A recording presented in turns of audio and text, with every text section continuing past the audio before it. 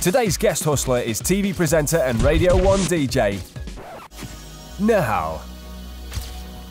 I'm in Glasgow. Unless it's something particularly Scottish themed involving tossing cabers, playing bagpipes, I have no idea what is going to happen to me. Hello? Hello. Can you walk across the bridge and then down the footpath and I'll meet you at the point? All right, cool. This program is amazing. I look at it and I've just seen, you know, some of the guys who've done it before. I just thought, can I do that? Could I get in that situation and act it out? Could I look them in the eye and lie to them? I don't know. And now today I'm going to get a chance to find out whether I can. So I'm really excited, yeah. Well, let me tell you a little bit about what we're Yeah. going to be doing. Today, we're going to be pulling off an audacious scam. Okay, we like that word. The question is, how do you sell something that doesn't actually belong to you without stealing it in the first place? No idea. No idea. Shall we get going? Yeah, I'll tell you more about it. Yeah. Nihal's going to have to achieve a double double. Two scams with two marks in two rooms. The hustlers have hired some rooms in a luxury country hotel. The guys lead Nihal as Jess waits outside reception to meet a man about some art. Hello. This guy's come here to buy a highly collectible sculpture, and that makes him the mark. Jess is going to be doing an awful lot of leading people around today, and timing will be crucial. Right now, she's taking the mark to Paul. He's playing the role of art dealer Rob Marks. He's selling a piece that's worth a lot of money. Just like to take a seat. Rob Marks, this is Peter. Oh, Peter, how are you? Have a seat. Thank you Can find the place okay? Yes. While Paul entertains the mark, Jess goes back to meet some guards from a security firm in charge of transporting the precious item from a local gallery to the hotel. They've been told it's being used for a magazine photo shoot, and for insurance purposes, they mustn't let it out of their sight. Jess walks the officer through the grand hall. I think I think that's the piece arriving. Looks like security, but Susie's. and right past Paul and the watching Mark, and into a corridor leading to the room where Nihal, Alex, and Jazz have set the stage for the first part of the scam the photo shoot. Nihal's first role is to play the long suffering assistant to Alex, a temperamental photographer prone to hissy fits. Jazz is also getting an earful as the apprentice. I mean, you should know whether we do need backlighting or not. Is that the... Hi. Oh, great, it's here. Because it's being photographed for a magazine, the piece has been loaned by the owner, so it's free for the day. And there it is three beautifully cast birds in flight. Made from solid bronze, it weighs a ton and is worth a five figure sum. All right, good. Okay, now I just wanted everybody to get off my set in front of my Being light. the artist that he is, photographer Alex insists on everything being just right before he starts shooting. So can I ask you to take that outside? If you The prima donna photographer sends one of the guards out of the room. would just like to take a seat there. Thank you. There's uh, some papers or something you can have a look at. The other guard is left alone to keep his eye on the sculpture, making him the second mark. If it goes, don't worry, I'll get it. He's asked to sit out of the way of the photo shoot. In fact, for this scam to work, it's vital that he doesn't move from that chair. That's so good. I'm just going to change this light. Do you want? Don't walk past there. Everybody stop crossing the light. We're pressed for time.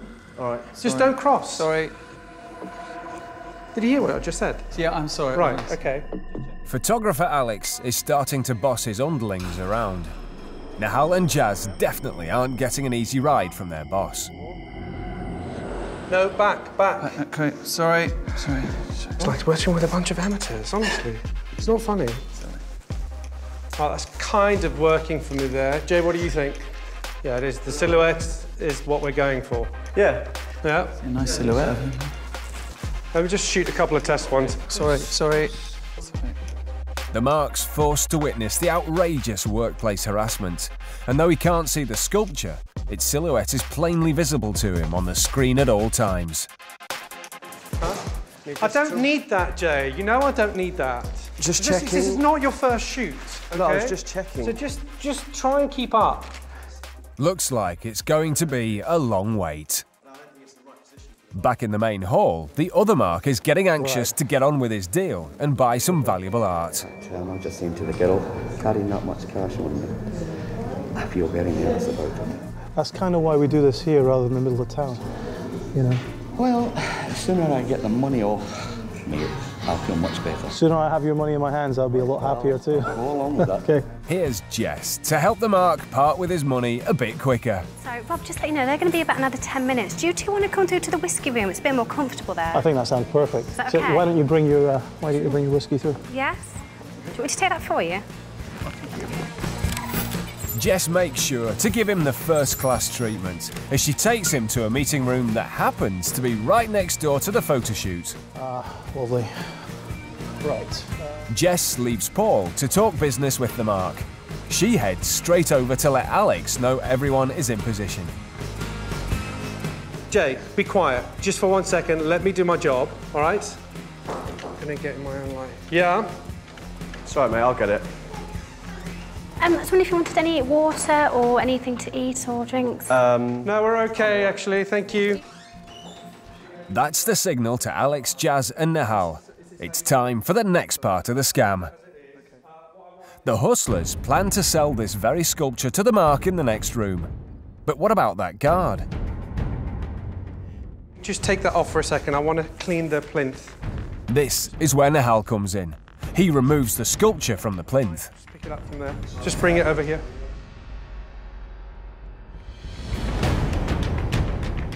Sensing the sculpture's on the move, the guard is on his feet and starts moving around. This is a bad thing. It's vital the Mark stays in his chair by the door, because when he's seated, he can't see the other door, which is the one Nihal plans to slip through. You're, all- you're all right to take a seat, mate. Jazz tries to convince him to sit down, but he's having none of it. Clearly, it can't be in two places at once, so to keep the Mark fooled, Alex quickly replaces the bronze with a worthless cardboard replica. Nihal lifts the statue and makes for the door, as Alex and Jazz keep obscuring the Mark's view. They're just here, okay? Just you're trailing everything. Just come back when you've got the black stuff. Done. So can I ask you to have a seat? Sorry, I know it's, but you're just reflecting lights off If there. it goes, don't worry, I'll get it. Yeah. Cheers, mate.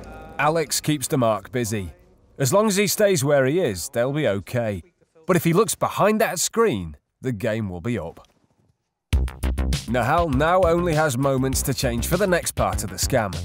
The photographic assistant is becoming a security guard to take the sculpture through to the adjoining room and one admiring Mark. Come in.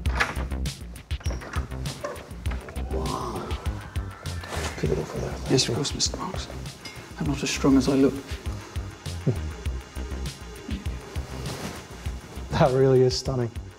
I've seen pictures. This is a, isn't it amazing? And the photographs don't do it any justice at all. I mean, it's totally amazing. The scene's now set for the sale. Earlier today, Radio 1 DJ Nihal helped the hustlers pull the wool over two different marks in the same scam. They've borrowed a piece of art, and somehow they plan to make money from it. What a piece. The catch? It's not theirs to sell, and neither Mark knows that yet. It's only a matter of time before the security guard notices that the valuable sculpture he's looking after isn't where he thinks it is. In Two Rooms, Part 2.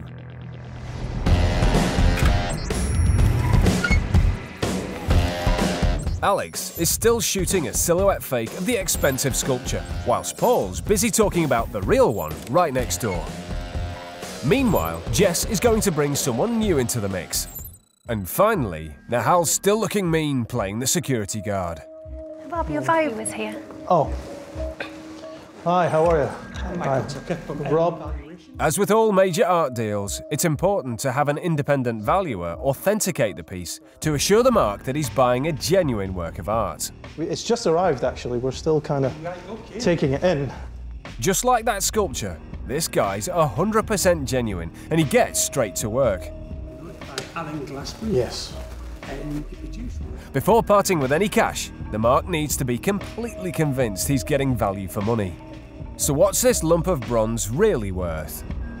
You'd be struggling to pick up anything like this retail for less than £10,000. The sculpture is worth £10,000. The valuer has given his assessment and Jess leads him away before anyone asks any awkward Actually questions. ordered you a cab. It's going to be here in about one minute if you're still.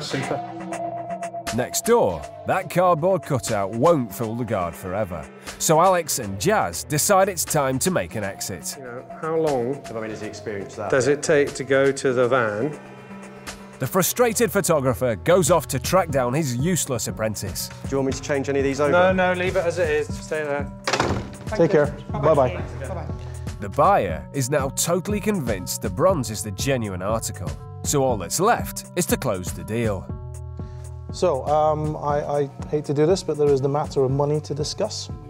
Um, you said to me you brought cash.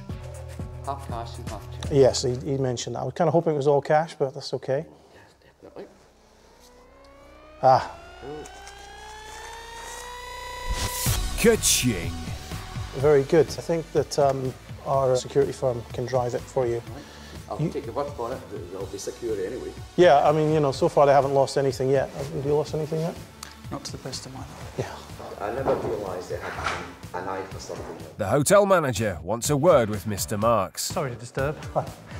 You mentioned putting something in our safe and it's on a time lock. He does look an awful lot like that photographer from next door, only in different clothing. You've got a window of five minutes. All right. Uh, Would you be so good as to make sure that goes into my box? Paul hands the five grand cash to Nihal. Okay. Okay. Thank you. Thank you. Sorry that. to disturb.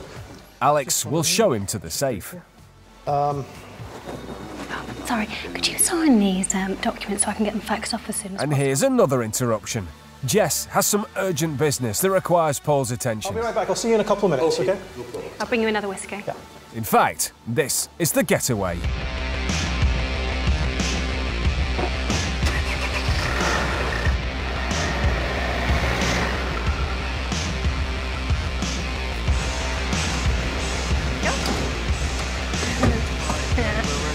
And that just leaves Jazz to get the hell out of there.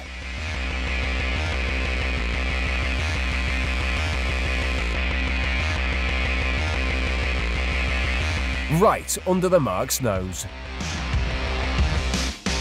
Anytime you're ready.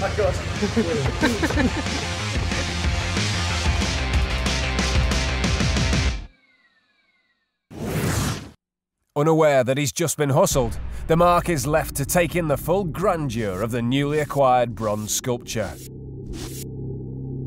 And next door, the guard is still at his post. But he fills his colleague in at the first opportunity.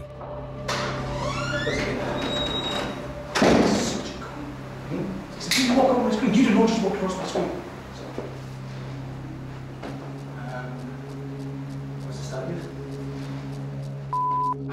He can't believe the 10 grand sculpture he's been guarding for the past hour is actually a worthless cardboard cutout. Following the only other exit from the room, he runs right into the other Mark. Did You see a couple of guys come through, did you? Yeah, uh, they were in here with me. Right. At least the sculpture is still in the building. But the guard can't work out what's going on. He goes to find his mate, leaving the other Mark very puzzled. Hi there. sir. Hi. The security firm has been tasked with keeping the statue safe, so that's the boss's first priority. I need to put it back on that stand. It's actually been bought. I'm afraid we're looking after this for some photographers. It's getting photographed. Well, there was a security company there who was going to deliver it. We are the security company that delivered it. To here, Yes. And we're looking after it today. right? And you're going to deliver it to the address that I gave the, the other guy. No, we're looking after it for the photographers and then it goes back to the supplier. Chris, could you put that back in, please? Be careful with it, it's very valuable, apparently. Oh, I know it's valuable. Just after being done out of £5,000. Right, if you could put that back in first, then we'll get the hotel manager, please. Be careful with it. So how did the hustlers manage to sell something that they didn't own in the first place? Back in the den, Polly arranged to hire the piece for the day and arranged to have it delivered to the hotel. She carefully mocked up the shape of the bronze on some card and made a cutout that could be used to fool the security guard into thinking it was still on the plinth. When in fact, the whole time it was in the room next door, being sold to another unsuspecting mark. The valuer simply added authenticity to the deal. You'd be struggling to pick up anything like this retail for less than £10,000. And after that, it was easy. Actually, I could cry at the moment, to be quite honest with you. I just feel so angry inside. It's just been a day for me, from start to finish. When the security guards came in to take away the piece, I, I, to be honest with you, I, I didn't know what to think. In fact, I wanted to put my head through a wall. I'm just so bloody angry. For you to live your life not wishing to be hustled, you would always have to think the worst of people. But, if, you know, if someone was trying to sell me, um, you know, three birds sculpture made of bronze, I would make damn sure that there was no other room. I would do it out in the open. If I saw a security guard, I'd go, who do you work for? If there was um, a fella with glasses, a really pretty woman and someone who looks kind of Greek, I'd run a mile, quite frankly. See what I mean? I'm gone. The grand surroundings give this scam an air of authenticity. Until the very last minute, both parties believe they're taking part in a legitimate piece of business. And by the time they realise they're being scammed, we're a couple of miles down the road. This is not amateur hour. This is the kind of scam that professional criminals will set up to obtain high value goods. If you're in that market, you should know who you're dealing with. And if you're asked for cash, that should ring an alarm bell. Make sure you understand the kind of transaction you're going into from the outset.